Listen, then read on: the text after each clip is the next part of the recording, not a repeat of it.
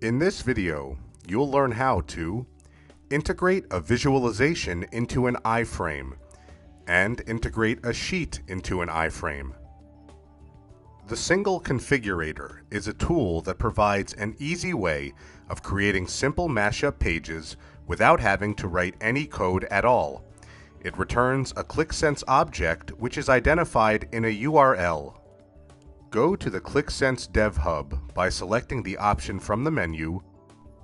First we will show how to embed a single visualization. Select Single Configurator from the Tools list and then select the app you want to use from the drop-down menu.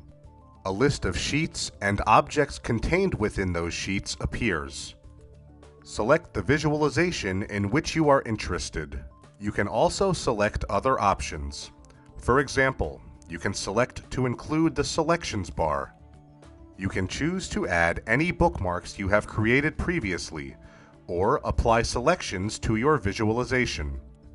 In this example, the visualization will be filtered for sales related to the selected quarter.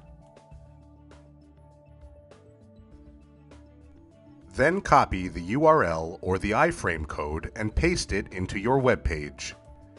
You will then be able to use the visualization in your web page.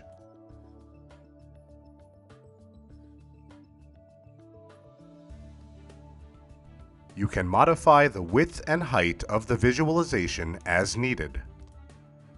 After you have refreshed the browser page, you can see that the visualization is now published. You can edit and change any filters you have applied and you can use search to make selections on any of the fields. You can use the Smart Search tool to find the data in which you are interested.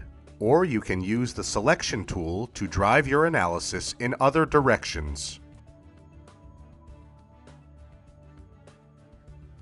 You can also embed entire sheets in your web page.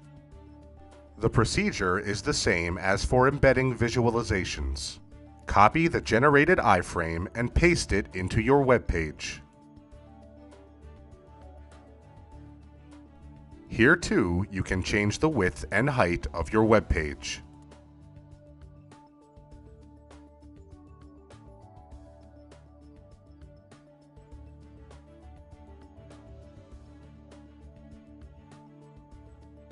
And that concludes this video. Thanks for watching.